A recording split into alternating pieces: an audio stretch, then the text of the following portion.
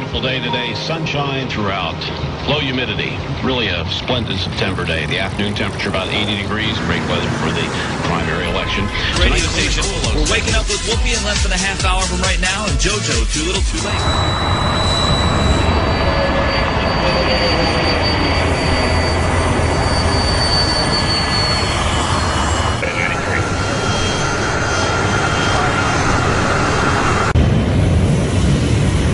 American Boston. Please listen very carefully. This is Amy Sweeney on Flight 11. We've been hijacked. Two attendants have been stabbed. Okay, do you have any idea where you're headed? No. People in coach think it's a routine emergency. We've asked for a doctor, but none's on board. Can you tell us anything more about the hijackers? Yes, they have knives and mace. They say they have a bomb. Okay, h- how are the people who were stabbed? One flight attendant's okay. I'm not sure. The other may not make it. What's happening? A- Amy, are you still there? We're in rapid descent. We're all over the place. Can you look out the window and tell us where you are? I see water, buildings. We're flying low. We're flying very, very low. We're flying way too low. Oh my God, we're.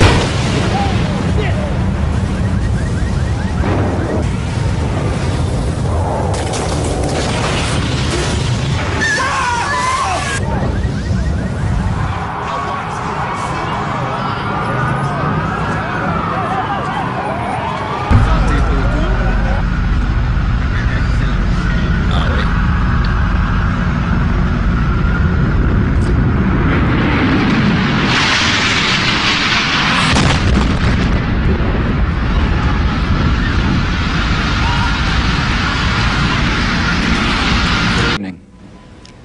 Today, our fellow citizens, our way of life, our very freedom came under attack in a series of deliberate and deadly terrorist acts. The victims were in airplanes or in their offices, secretaries, businessmen and women, military and federal workers, moms and dads, friends and neighbors. Thousands of lives were suddenly ended by evil, despicable acts of terror.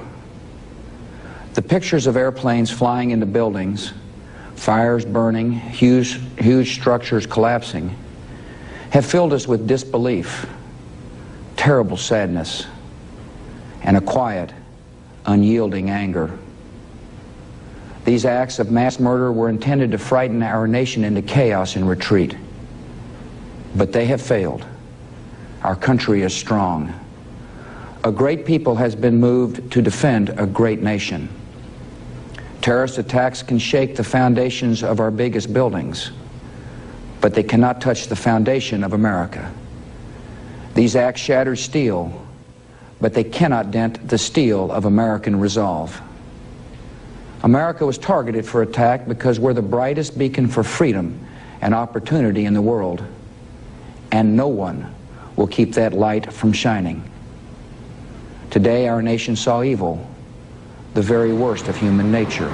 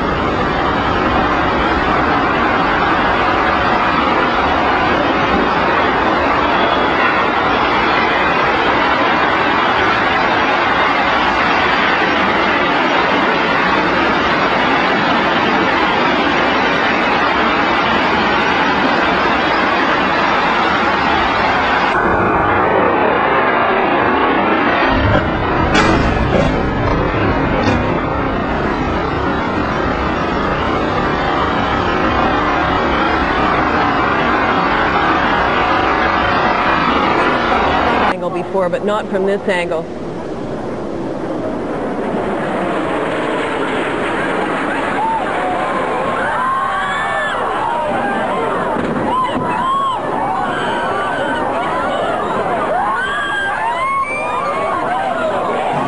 I want Americans and all the world to know American and coalition forces are in the early stages of military operations.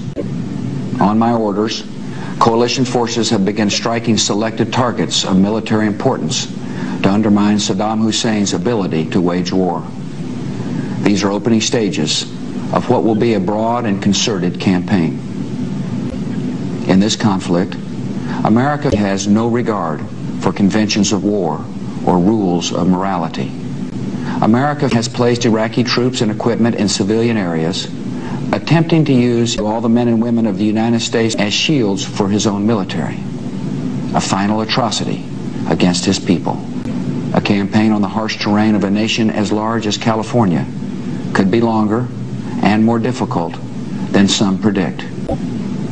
We come to Iraq, we have no ambition in Iraq, and you can know that our forces will to use innocent men, women, and children as shields for his own military. Our nation enters this conflict, yet our purpose is sure.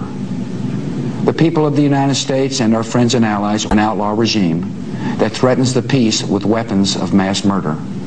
Now that conflict has come, the only way to limit its duration is to apply decisive force. And I assure you, this will not be a campaign of half measures, and we will accept no outcome but victory. And we will prevail. Justice will be served and the battle will rage. This big dog will fight when you rattle his cage. And you'll be sorry that you mess with the U.S. of A.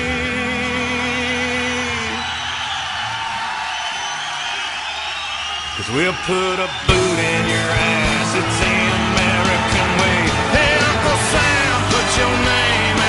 top of his list. And the Statue of Liberty started shaking her fist. And the eagle will fly.